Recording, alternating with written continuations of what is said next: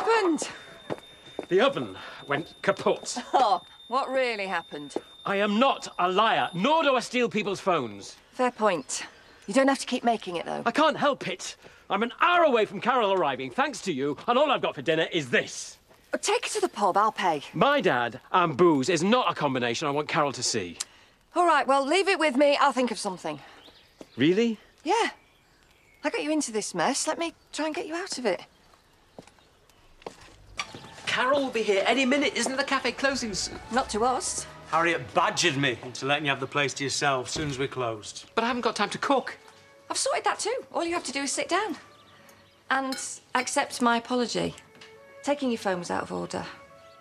I hate it's not getting on. What you've done is amazing, thank you. Carol will be blown away. I didn't just do it for Carol. I did it. Wow! There's some amazing cooking smells coming from in here. Um, Mrs. Birch explained. Needn't have gone to all this trouble. Mwah.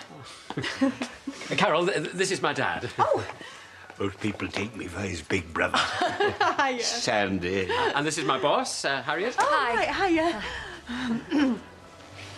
Shall I take your coat, Carol? Oh, no, please, let me, let me, let me. I believe he's punching above his weight. And now, did, did you find it everything? I don't think this will last long, We just luckily met in the which gives you hope. and the smell. What do you mean? Ever since you learned that Carol was real, you haven't stopped moping about the place. My daughter took my advice. Travel the world, have some fun, thanks. Working for the airlines, you get it for free.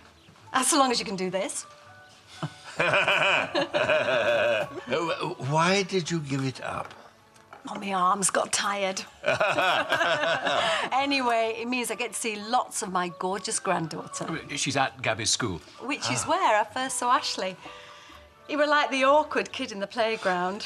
It's uh, waiting for Gabby, and there were these two lads fighting. They were really going at it. Yeah, Ashley split them up, said it's wrong to fight. Very heroic. Get that from me. We're brothers, they said. Our dad says it's all right. And then they pointed to this six foot brick outhouse. Oh, Ashley went white. Uh, from his mum. Stop interrupting. I knew then I wanted to get to know him. Why? Even though this guy were a giant, Ashley stood his ground.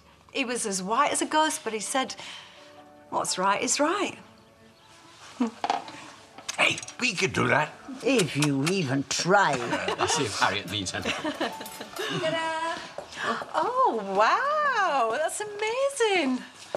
You've only set the table for four. Oh, I said I'd meet Vanessa oh. in the pub for some grub. She wants my advice on something. Well, it won't be as nice as this. And thank you. We really appreciate it.